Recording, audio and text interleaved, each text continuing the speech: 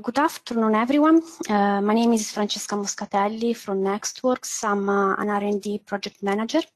Uh, Nextworks is uh, an Italian uh, SME uh, located in Pisa, which is quite active in European funded projects. Indeed, the work that I'm going to present you today, which is titled Verticals Intent Evolution at Service Runtime Driving VCDN automated scaling has originated from some of these uh, European funded projects that are 5G Complete, 5Growth, and uh, 5G Eve.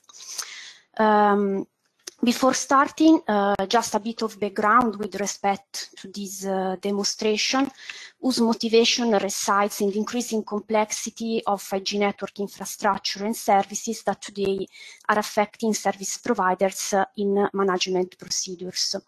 Indeed, uh, it has emerged need uh, for vertical-oriented procedures towards the full automation of provisioning configuration and orchestration uh, procedures for vertical services. This in order to support heterogeneous services at runtime, especially when um, the changing behavior of uh, such services cannot be easily handled and uh, to this end, AI ML techniques are becoming fundamental for modeling the so-called uh, normal operational trends of, uh, of, of such services. Uh, so here, uh, the overall main goal is uh, to build upon these uh, emerging technologies such as orchestration, automation, analytics, as well as uh, AI ML techniques in order to enable the network and service adaptation at runtime depending on a business logic. So depending on a logic that can be understood by the vertical service provider. Um, indeed, the idea here is to, to implement uh, automated uh, uh, service profiling procedures, which should be uh, intent-based instead of being infrastructure-based, and also to implement uh, closed-loop um, automations for uh, adapt adapting and optimizing the service at runtime. And this means that we can rely on, uh, on collected metrics uh, from both the application and, uh, um, and the infrastructure for uh, identifying the intent evolution and then uh, perform the proper services adaptations. Now, just a, a brief overview about uh, uh, the NFV ManoStack architecture uh, that we have used uh, in uh, this demonstration, whose main components are uh, the vertical slicer, that is a prototype developed by Nextworks, OSM release 8, even if we are already planning to move to, to the new release, a monitoring platform, and an ENI system. In this picture, you have depicted all these different building blocks uh, grouped in the assisted system and the ENI system. Uh, for what concern the uh, assisted system, you can see here uh, depicted the vertical slicer, whose main components are the vertical service manager and the network slice manager. The vertical service manager implements the uh, functionalities for the vertical service lifecycle management, but most important, it includes also a functionality for mapping the service intent into the most appropriate network slice. The network slice manager is uh, um, related to the lifecycle management of the network slice, and it includes also a functionality for the arbitration of uh, resources. In this case, we can support the arbitration of uh, computing resources related to the virtual deployment unit, so uh, storage, uh, computing, and, uh, and, and memory, basically. Uh, below you can see uh, open source Mano that in this demonstration is used as uh, an NFV orchestrator with the common functionalities for uh, the network service orchestration and resource orchestration. Then we have uh, OpenStack as a virtual infrastructure manager for the virtualization of both cloud and edge resources. Then on the left, you can see uh, vertically placed Prometheus for implementing the cross-layer uh, monitoring. On top of the assisted system, we have the ENI system, uh, with uh, four main building blocks that are highlighted inside. Uh, so the data ingestion for collecting the data that are stored within uh, the monitoring platform, a configuration manager that is used for dynamically configuring service-specific tasks for the adaptation and optimization of a given service, the algorithms that can be uh, plugged in so we can use different kind of algorithms, and then we have an action generation component that is in charge of processing the output of the algorithms in order to uh, request a service adaptation optimization to the vertical slicer. Now I show you uh, how all these um, components are interconnected through uh, the interfaces, the related interfaces in order to implement the so-called closed loop. So as said, we have the application infrastructure metrics that are collected uh, at any layer of this architecture within uh, the monitoring framework. These metrics are then injected within the ENI system that after a processing is, a capable, is capable of generating an adaptation optimization action that is forwarded to the um, vertical service manager. Then this adaptation action is translated into uh, an adaptation action at the network slice level. And uh, in uh, the specific case of this demonstration, when uh, this uh, um, optimization action will consist in scaling out of the vertical service, we are then triggering uh, open source Mano for performing the service scaling, and then the uh, virtual infrastructure manager, so OpenStack, for the provisioning of the additional uh, computing resources. Now, a few more words about uh, the vertical slicer that is uh, a component for a service-driven management and orchestration of vertical services across 5G network slices. And to this end, the vertical slicer is providing some automation uh, already mentioned, so the automated translation from business and service requirements into network slices, so uh, from the, the, the, vertical service provider intent into network slices, and also uh, the automated arbitration of resources that is based on tenants SLA and that is performed at both instantiation and scaling time. The vertical slicer is also implementing uh, two proprietary data models the first one is the vertical service blueprint, which is the template for the vertical service, so an high-level representation of the service, and the vertical service descriptor, that is the descriptor used for the instantiation of the vertical service and where the service intent is specified. Um, the vertical slicer has been also extended in order to, to support the, the closed loop automation and in particular, it has been extended for, uh, first of all, performing the dynamic configuration of the vertical services components. This, this is done through uh, an integrated NFVO service, and this way we are able to perform the runtime configuration and reconfiguration of both virtual network function and physical network function, implementing the so-called day one and day two configuration.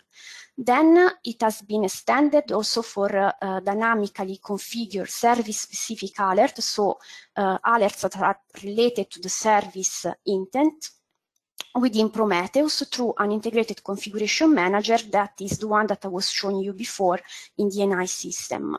And finally, we have also implemented uh, at the vertical slicer the service scaling upon the selection of a different vertical service descriptor that, as said, contains the service intent, and this is selection is performed by the ENI system. Now let's go to the demonstration uh, description. So uh, which are the main objectives of this demonstration? First of all, we would like to demonstrate the intent-based uh, deployment and configuration of a virtual content delivery network performed through the vertical slicer coupled with open source Mano. And uh, this way we are able to improve uh, the flexibility of the service lifecycle on a per business logic, so depending on the intent that is specified by the vertical service provider.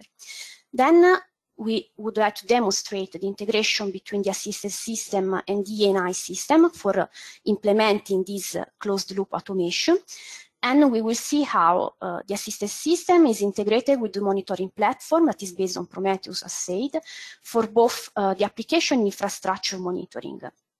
Then we will see how uh, service-specific alerts, so as said, related to the service intent, are dynamically configured uh, within Prometheus through the configuration manager.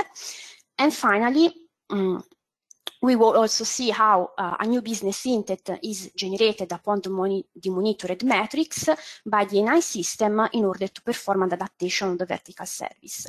This adaptation of the vertical service will consist in uh, dynamic scaling of the virtual content delivery network, as well as the uh, configuration and reconfiguration of the services components. And in this specific case, um, this uh, um, dynamic uh, deployment and scaling will be driven by an intent that is the uh, number of uh, users that this um, virtual content delivery network is supposed to um, to accommodate and that in terms of metrics uh, correspond to uh, the number of uh, current client connection provided by the services component and as I will show you uh, in a while. So now uh, I will show you how um, this closed loop automation is uh, implementing for the virtual content delivery network scaling. Here at the bottom of this picture, you can see the NFVI with the cloud and, uh, and edge locations that are emulated through the usage of OpenStack availability zones.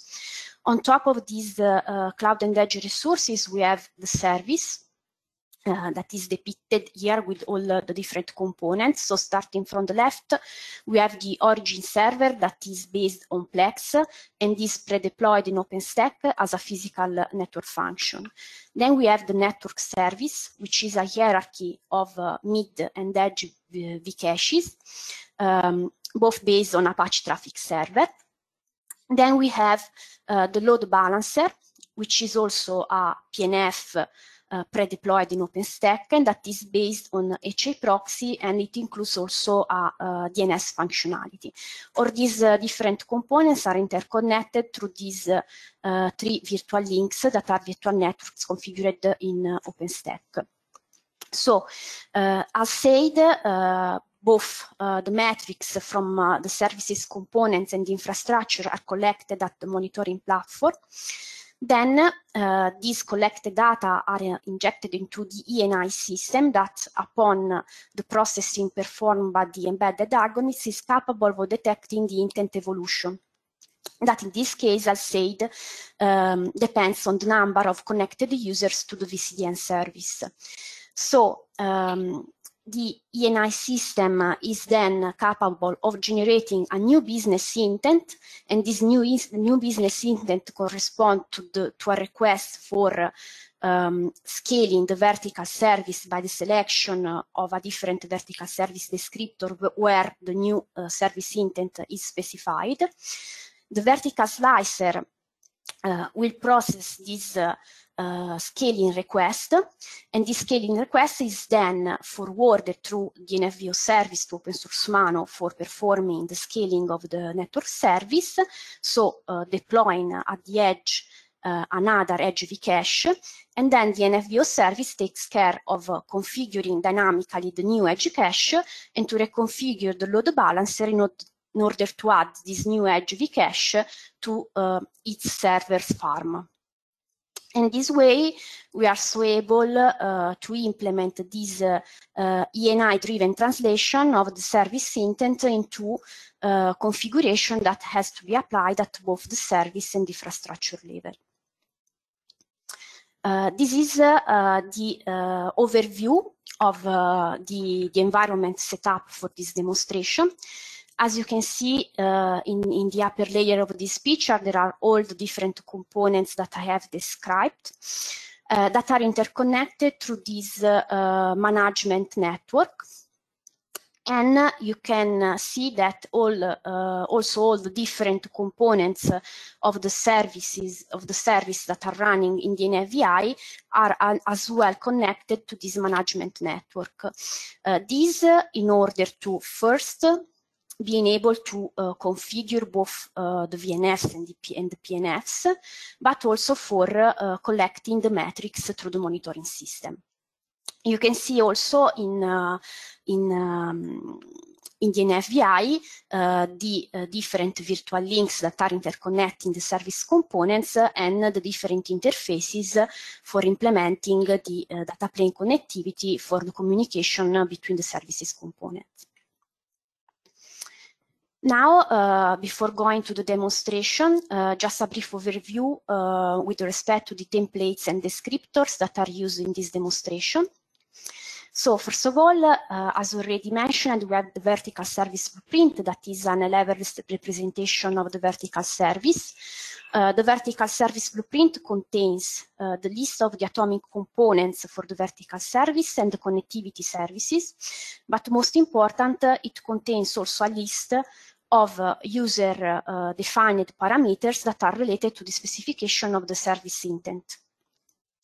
And moreover, it contains also a list of translation rules that are used for mapping this vertical service into the most appropriate network slice. Then we have the vertical service descriptor that, as said, contains the specification for the service intent. So in the vertical service descriptor, you have practically the values to be assigned to the user-defined parameters contained in the vertical service blueprint.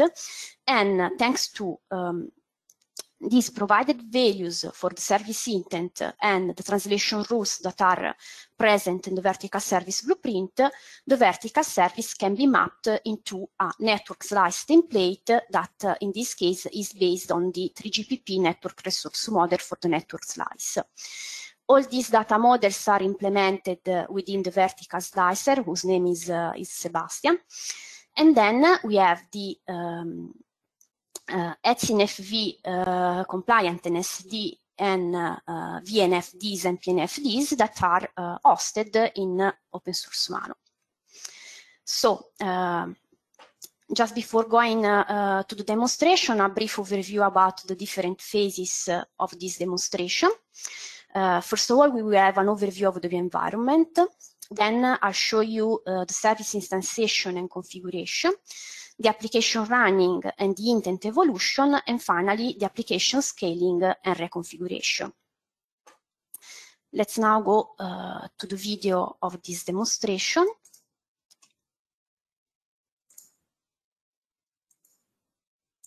Okay, so uh, first of all, as said, an environment overview. This is the graphical user interface of the vertical slicer, where we, where we have already onboarded the uh, vertical service blueprint and the vertical service descriptor. Here you can see the topology of the service with different service access points, the one for the users and the one for uh, the management and the different services components, so the mid cache, the edge cache, and of course there are also the load balancer and the origin server. Here you can see highlighted the intent-related parameters specified within the service blueprint, so the current client connections. Here we have uh, already onboarded two different vertical service descriptors, one for uh, uh, a VCDN service uh, serving three users and the second one for two users, so a big one and a small one. No vertical service instances are running, as well as no uh, vertical services are running in OSM the uh, NSD of the VCDN uh, has been automatically onboarded through the uh, VSB onboarding procedure. This is automated from the vertical slicer, as well as the VNF packages. Here you have the overview of the Edge vcache, where you can see highlighted the scaling group for serving the two different vertical service descriptors, so the VCDN big and the VCDN small. In OpenStack, we have already deployed the origin server and the load balancer as physical network function. Here we have uh, Prometheus, where uh, there are no data currently collected because the service is not yet running, and there are no dashboards in Grafana. So let's go to instantiate and configure the service. And we are going to do this through uh, the vertical slicer interface by specifying the uh, vertical service descriptor to be used, in this case, the small one. So with an intent for two users to be connected. The service is instantiating, The same uh, is now happening also for the network service uh, corresponding to the vertical service in open source Mano. And now we will see that also in OpenStack, uh, we have the first mid cache that is uh, spawning as well than the edge vcache. The service is now running and configured in OSM and also in the vertical slicer, it's uh, instantiated. A uh, dashboard has been dynamically configured in Grafana and as you can see, we have no uh, current client connection because there are no users connected to the service. Let's now uh, connect to the VCDN service. So in this case, the load balancer is uh, uh redirecting uh, the user to uh, the first edge of the cache that we have deployed. So it's cache zero. And both the load balancer and, and the edge of cache has been, have been dynamically configured through the NFVO service. Here we are streaming some content. And as you can see now, we have two uh, current client connection, and the same is reported in uh, Grafana here. Okay. Now let's connect a third client in order to make the service intent evolving at runtime. So in this case, now we will see that also in Prometheus, the stats are, are evolving. Here you have that the current client connection are now three. Okay, so now we will see how uh, the application scaling reconfiguration is performed.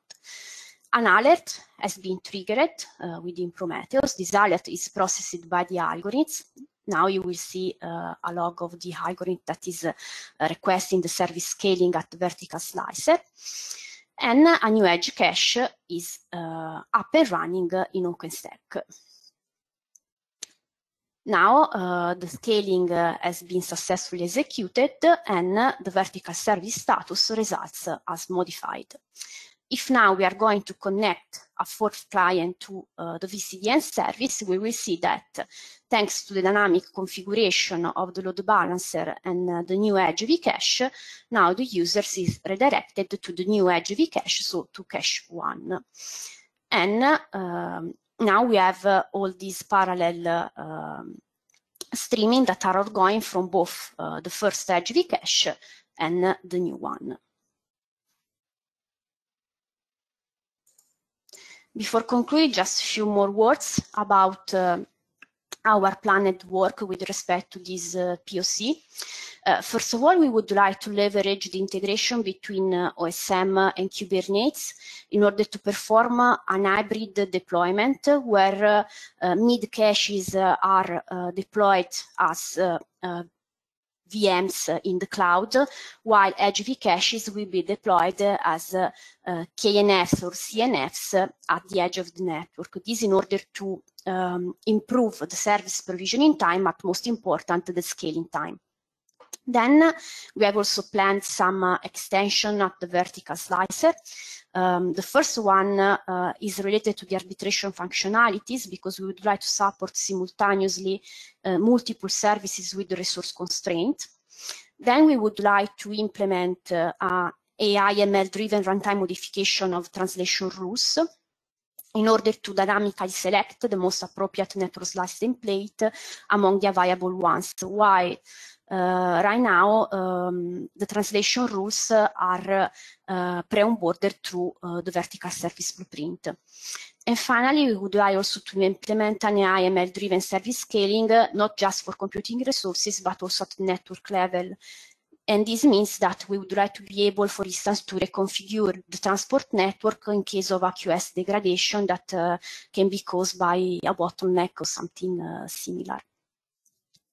And that's all uh, from my side. So thank you all uh, for attending and especially thank you to the SN community for hosting this, uh, this presentation.